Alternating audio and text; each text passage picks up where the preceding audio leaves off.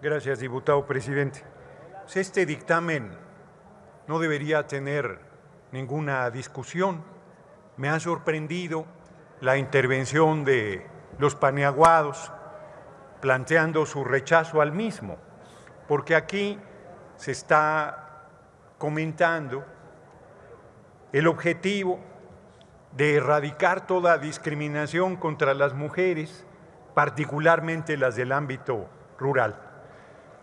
Me atrevería a decir que quizás sea yo el único diputado varón que en las asambleas de la reforma constitucional en materia eléctrica incluyo el tema de que ninguna mujer debe seguir siendo violentada, que si una mujer sale a la calle desnuda, nadie tiene derecho a tocarle un cabello si ella no quiere, y que se debe erradicar toda violencia en contra de las mujeres, que no puede seguir habiendo acoso, abuso, atropello, violación, asesinatos solo por ser mujeres, y que ya es hora, porque no está en el debate, no está en la iniciativa, dos derechos fundamentales de la mujer, el derecho a su libre sexualidad, porque todas y todos somos iguales y las mujeres tienen derecho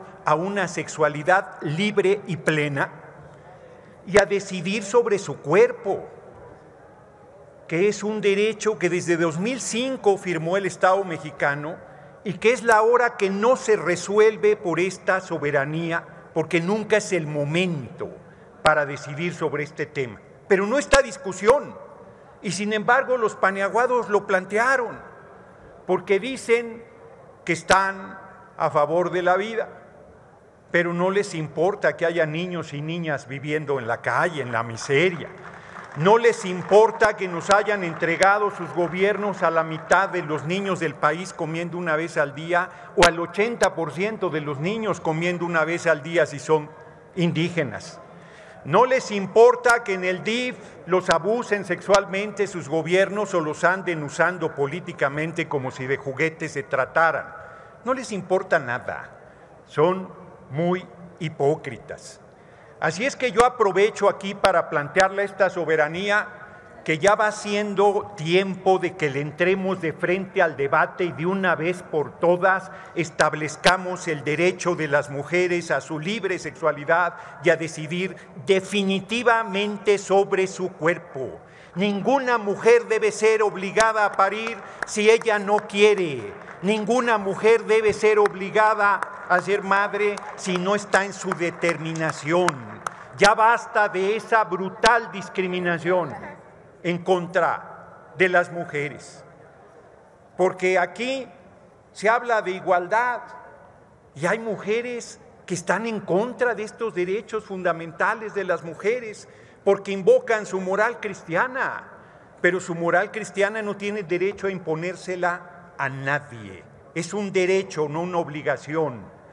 Y hoy en día muchísimas mujeres pierden la vida por interrumpir el embarazo en condiciones de salubridad monstruosas que les cuesta la salud y la vida.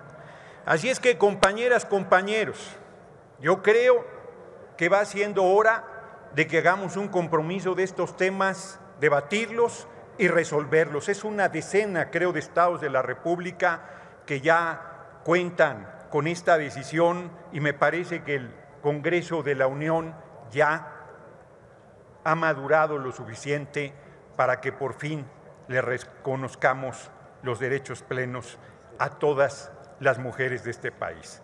Y demos un paso sustantivo para erradicar toda violencia en su contra. Nos acusan de misóginos, pero las misóginas son otras. Las de Acción Nacional que están en contra de los plenos derechos de las mujeres.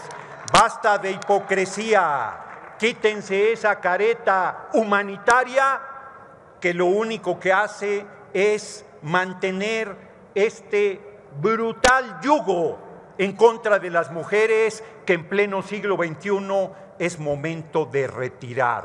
Y yo estaré en el centro de esa batalla exigiendo plena igualdad entre mujeres y hombres.